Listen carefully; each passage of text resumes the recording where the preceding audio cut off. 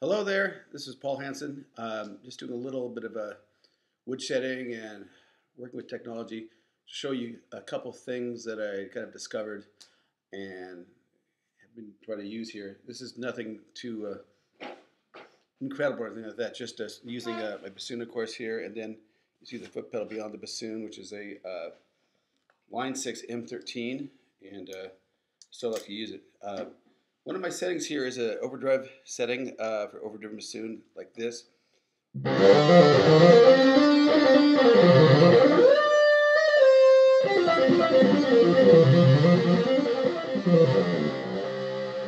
So, um, but it's interesting when it's overdriven like that, you could often click your hands on the instrument, get kind of percussive sounds that uh, come up louder because of the compression and the overdriven quality and overdriven uh, feature of that pedal. So I'll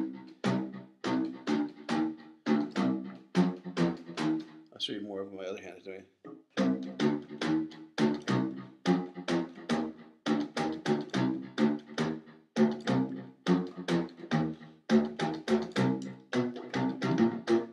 Interesting feature is when you put your mouth on the reed, it actually changes the pitch.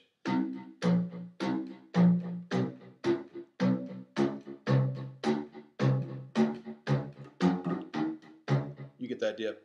Um, again, I'll try that a little slower here. And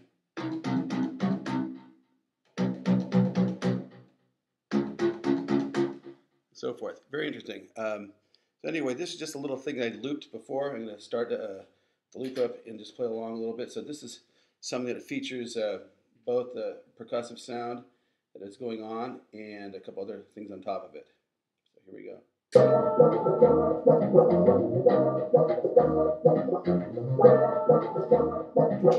Here's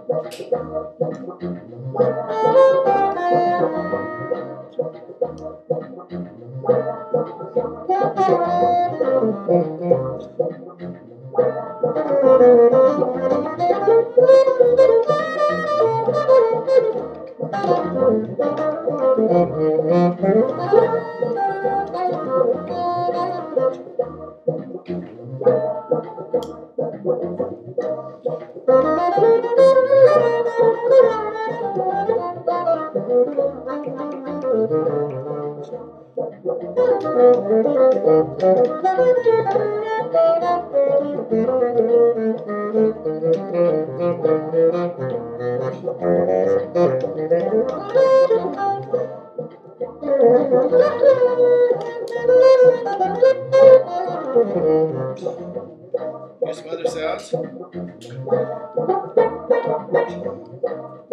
sounds.